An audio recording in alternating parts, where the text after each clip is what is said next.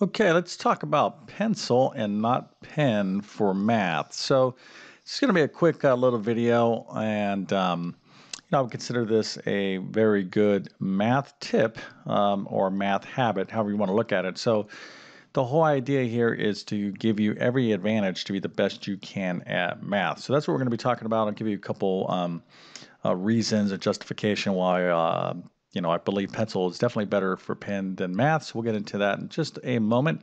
If you're new to my channel and you're looking for math help and you like the way I teach, I hope you uh, consider subscribing. Um, literally have hundreds and hundreds of videos posting all the time. So make sure you hit that bell notification to get my latest videos. And if you need um, full comprehensive math instruction, I offer uh, full math courses. I'll leave the link in the description of this video so you can check those out if you're interested. So let's get into this pencil, not pen for math. Now, I'm going to uh, have a disclaimer right up, right up for uh, the beginning of this video. I oftentimes use pen for math. I, I like using Sharpies. Um, so you might be saying, well, what is, you know, you're talking about you use pen and you're telling me to use pencil.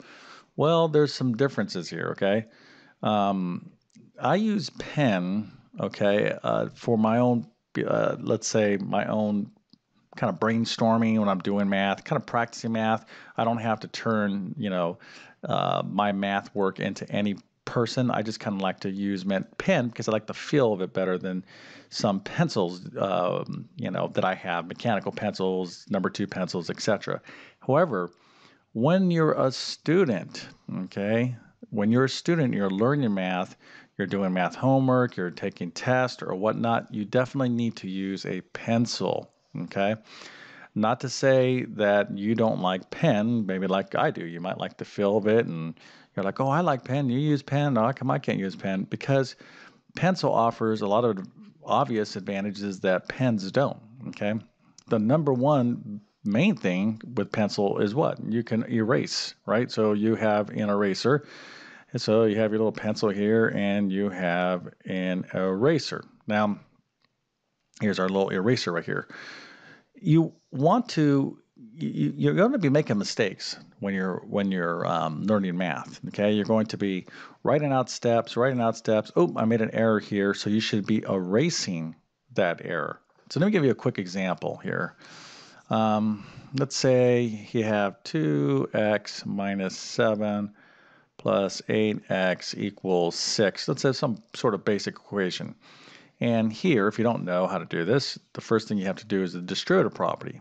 So this would be 2 times x. So let's say you did that, 2x. Instead of going 2 times 7, which would be a minus 14, let's say you inadvertently go minus 7 plus 8x equals 6.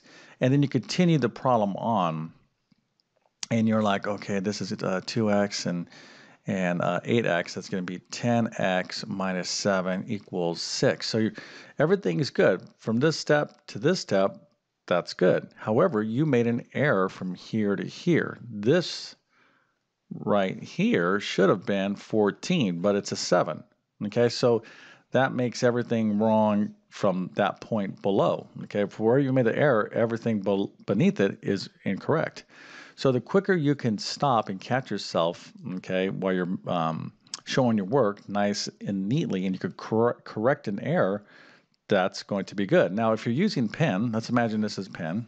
Of course, I'm using my fancy tablet uh, PC here, so that doesn't really count, right? You're not going to be having a piece of paper with this kind of, you know, uh, um, features like I have here on this computer. But what you can do, okay, if you have a pencil, you can simply erase this nice and neat and put in the correct answer.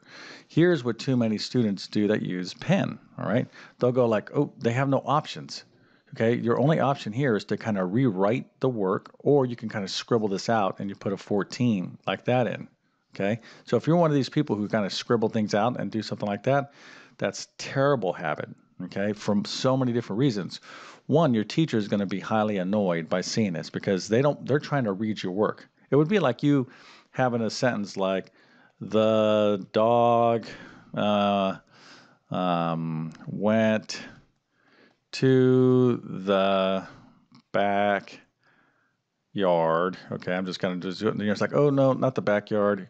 Um, he went to the park, right? Whoops, I kind of lost that for a second. And so if you're using pen and then you're just writing this out and you go, oh, I wanted to really say park, that's how your sentence would look. I mean, how would, you know, and you turn that into your teacher, if you're writing some basic essay, that's going to be highly annoying. It's no different than in, in mathematics, okay?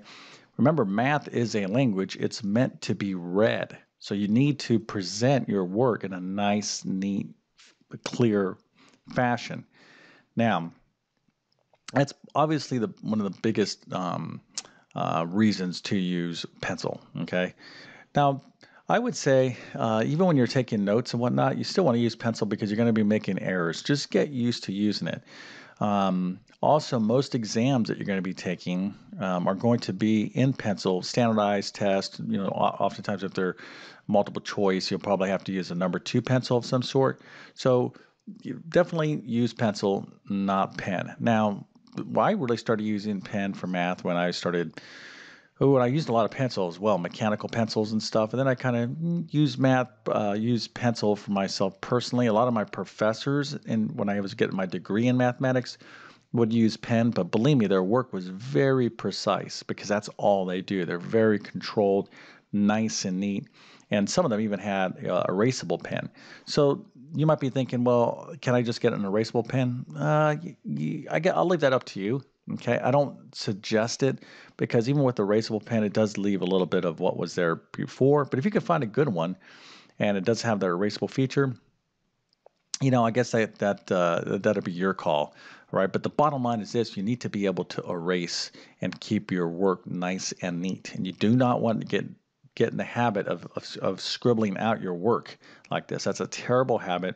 Your teacher's not going to appreciate it. They're not going to be able to read your work, and you're not going to be uh, uh, given uh, full partial credit if you earned it on a particular exam. Okay, believe what I tell you. And also, too, um, uh, some of your teachers may even have it as a standard that pencil is a requirement, not pen. Okay, they definitely won't have it where pen is a requirement, not pencil. Right. So give pencil a shot. There's all types of pencils out there, mechanical pencils with uh, different leads, um, strengths.